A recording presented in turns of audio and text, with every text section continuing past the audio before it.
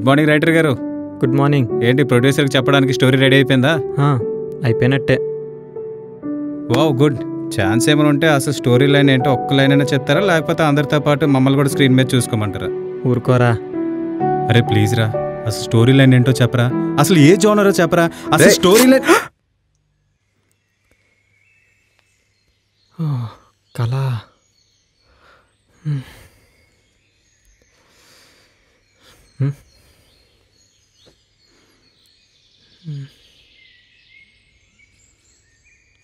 ఏంటి? డైరెక్టర్ గారు ఎన్నిసార్లు కాల్ చేశారు?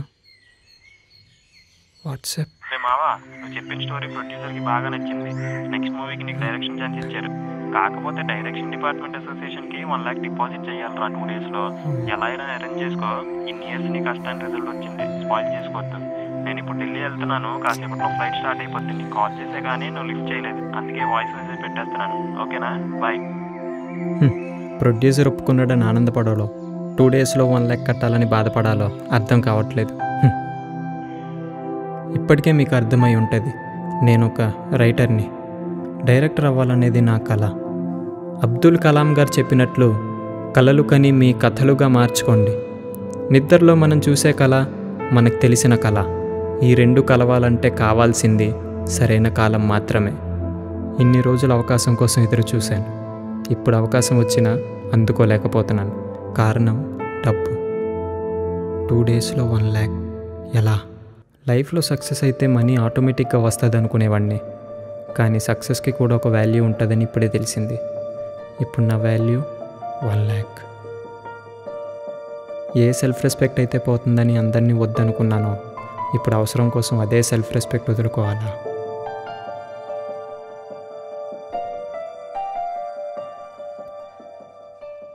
Hmm.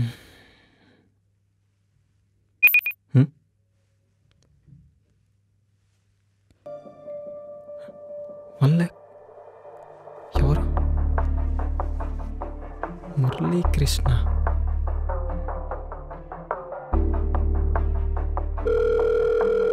హలో అమ్మా నాకేమైనా డబ్బులు పంపించావా? డబ్బులా? లేదే. సరే సరే నేను తర్వాత కాల్ చేస్తాను. హలో బావా నాకు అమౌంట్ ఏం పంపించావా? లేదురా ఏమైంది? ఏం లేదులే తర్వాత మాట్లాడతాను.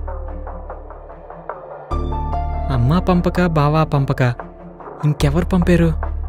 నాకే అవసరం వచ్చినా ముందు నిలబడేది ఒకటి మా అమ్మ రెండు బావ. వీళ్ళు కాకుండా ఇంకెవరు వేసి ఉంటారు? ఇంకొకరి మనీని మన అవసరం కోసం వాడుకోవడం కరెక్టా? కాదా? ఏంటి బావా నీ స్టోరీ ప్రొడ్యూసర్ ఓకే అన్నాడంట గ్రూప్లో గోలగోల అయిపోతుంది? ఓకే అన్నాడు.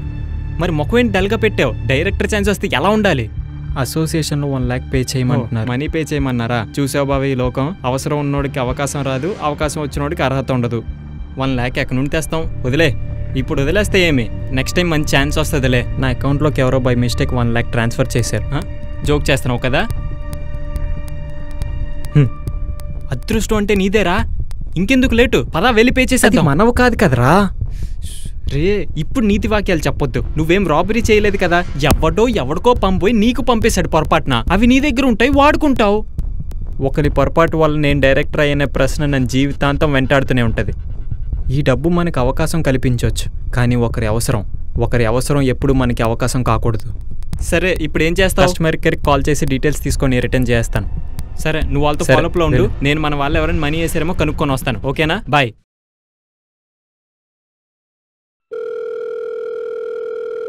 హలో. హలో నా పేరు రాజేష్ అండి. నేను మీకు ఏ విధంగా సహాయపడగలను? నా పేరు శివ అండి. నా అకౌంట్లో fifteen minutes back one lakh credit అయింది. అది ఎవరు వేశారో కాస్త డీటెయిల్స్ చెప్పగలరా? వన్ మినిట్ సార్ మీ అకౌంట్కి లింక్ అయిన కాంటాక్ట్ నెంబర్ ఒకసారి చెప్పగలరా? ఆ, ఈ నెంబరేనండి. ఓ ఈ నెంబరేనా? సార్ ఎవరో బొమ్మిడి మురళీకృష్ణ అనే అకౌంట్ నుంచి మీకు ట్రాన్స్ఫర్ అయింది సార్ ఇది భీమవరం బ్రాంచ్ నుంచి ట్రాన్స్ఫర్ అయింది సార్ భీమవరమా? అక్కడ నాకు తెలిసిన వాళ్ళు ఎవరు లేరే? ఎవరు వేసి ఉంటారు అదేంటి సార్ ట్రాన్స్ఫర్ చేసిన వ్యక్తి ఎవరో మీకు తెలీదా? తెలియదండి అందుకే కదా మీకు కాల్ చేసి డీటెయిల్స్ కనుక్కుంటున్నాను. నిజంగానే మీకు తెలీదా? నిజంగా తెలియదండి అయితే సార్ మేబీ బై మిస్టేక్ వేసి ఉంటారు. వాళ్ళు కంప్లైంట్ ఇస్తే అప్పుడు చూసుకుందాం ఈ లోపు ఆ మనీతో ఎంజాయ్ చేయండి సార్. సలహా అనేది ఎదుటి వాళ్ళు అడిగితే ఇచ్చేది అనవసరంగా ఇచ్చేది కాదు. మీరు డీటెయిల్స్ కనుక్కుంటారా? నన్ను మీ మేనేజర్తో మాట్లాడమంటారా? సరే సార్ నేను నోట్ చేసుకుంటున్నాను. మీ తరపునే కంప్లైంట్ రేజ్ చేసి కాసేపట్లో మీకు ఇన్ఫార్మ్ చేస్తాను సార్. భీమవరంలో మురళీకృష్ణనా? ఎవరై ఉంటారు?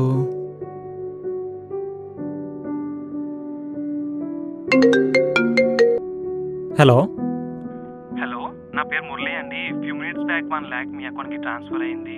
అది నా అమౌంటే సార్. బై మిస్టేక్గా మీ అకౌంట్కి వచ్చేసింది. ఓ మీరేనా? నేను ఆల్రెడీ కాల్ చేసి కంప్లైంట్ కూడా రైజ్ చేయించాను. మీ అమౌంట్ మీకు రిటర్న్ చేయమని. ఓ చాలా థ్యాంక్స్ సార్. మీరు చేసిన ఈ మంచి పనికి త్వరలోనే మీకు మంచి రిజల్ట్ వస్తుంది. It's okay sir amount return వచ్చేసింది. మీ రుణం ఈ జన్మకి మర్చిపోలేను సార్. చాలా థ్యాంక్స్ సార్. పోన్లే. మనీ నాకు అవసరం పడకపోయినా చేరాల్సిన చోటుకే చేరింది.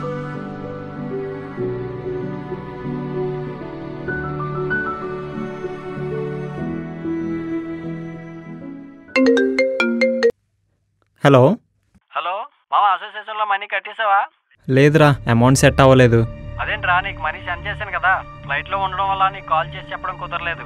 ఏం మాట్లాడుతున్నావురా? నాకు అమౌంట్ సెండ్ చేయడం ఏంటి? అదేరా ఎప్పటి నుండి నా ఫ్రెండ్ మురళి నాకు అమౌంట్ ఇవ్వాలని చెప్పాను కదా. నీ అకౌంట్ పంపమని చెప్పాను నీ అకౌంట్ డీటెయిల్స్ ఇచ్చాను పంపలేదా వాడు?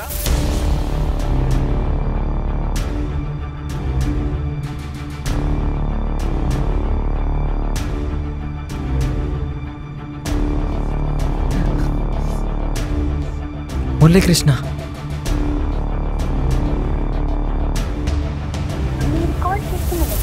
Switch off customer care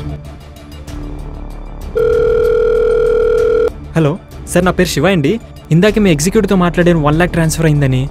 one minute sir check చేసి చెప్తాను. సార్ ఆ ఎగ్జిక్యూటివ్ నేమ్ ఏంటో చెప్పగలరా?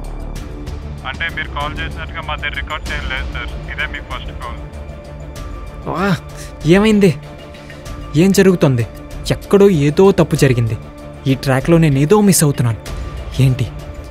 ఏంటది? మురళీకృష్ణ డైరెక్టర్. టెలికాలర్.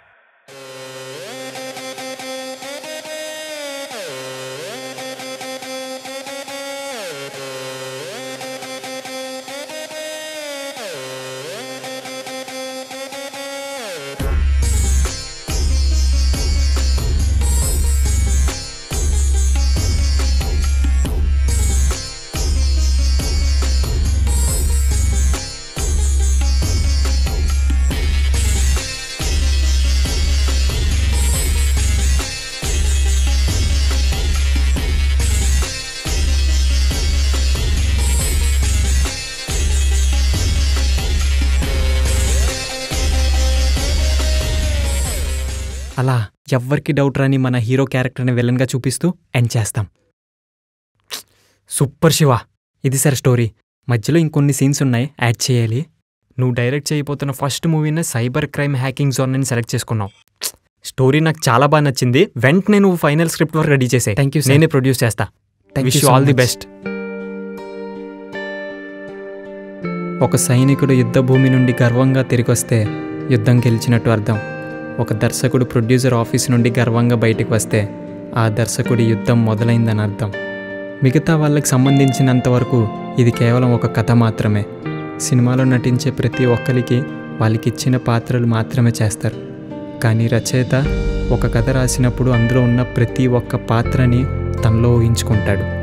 ఆ పాత్ర నవ్వితే నవ్వుతాడు ఏడిస్తే ఏడుస్తాడు గెలిస్తే ఆనందపడతాడు. అది ఎంతటి పాత్ర అయినా కావచ్చు. మొదలయ్యేది రచయిత కలంతోనే ముగిసేది కూడా ఒక రచయిత కలంతోనే. ఎన్నో అద్భుతమైన పాత్రల్ని సృష్టించిన రచయితలకు మా ఈ చిత్రం అంకితం.